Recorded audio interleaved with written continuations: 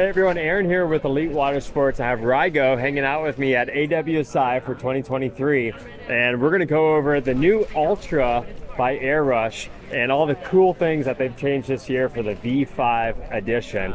It's been our fan favorite for the Mm-hmm. lesson center for super light winds, but that's not the only thing it's good for. What else is it good for? Yeah, it's basically a foil specific and a, a, a light, uh, lightweight rider wave kite. Right. And uh, the Ultra, it's, it's been around forever. It was one of the original one struts. Mm-hmm. And we have some key updates this year. Um, so mostly I love to talk about the benefits more than the features, but what you can expect is a more pivotal kite.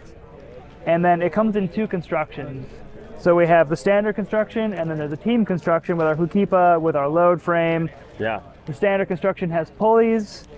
The team series has um, no pulleys on the bridle, so a little bit more direct, a little more advanced riders. Oh But wow, the- we're gonna have to do a whole separate video Whole on separate like, video. all the difference on that. But what you're gonna get is you're gonna get um, basically with foilers, and you know, kite foilers, they've kind of evolved where they want a really pivotal kite where they can kind of backstall it and get it to pinwheel around and get really fancy. So this is a little lower aspect. Gotcha. Yep. And, So uh, you know, you know the the lower aspect having a little bit more ball power and a shut off for Yeah. like a surf kite, so you Correct. can really like slack those lines off, really charge at the actual kite, and still be in full control. As soon as you make those lines hot again, boom, the kite's still active, still there, exactly where you want it to go.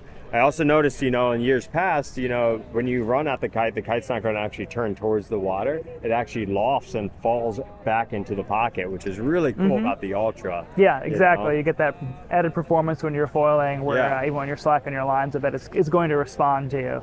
With that new Hakipa, I've also noticed that this is for the upgrade, right? The upgrade to maybe a guy that has been foiling for a while, maybe you're on a different brand or whatnot, and you want to upgrade your quiver and get a little bit more performance. And maybe the actual kite is holding you back and you don't even realize it. So we urge you to come try the Team Edition Ultra, and you'll see that maybe it was the gear that was holding you back, and now the Ultra is going to take you to that next level. So I'm super stoked to see that Yeah, the exactly. advancement in our local area and globally, of course. You know? Absolutely. I think So- I think you nailed it. Those advanced spoilers, I think they're going to gravitate towards Yeah. the team construction and the more direct bridle, more performance. Right. Ask a little more of the rider, but more performance. Well, I'd like to also leave off on the fact that, like, man, this thing is not just for like grown-ups and everything. I have done really great lessons on kids Yeah. with kids doing that are 50, 60, 70 pounds. That's not abnormal anymore uh, now that we have this kind of technology available to us. So we urge you, if you're a father out there, don't go strapping your kid to your kite.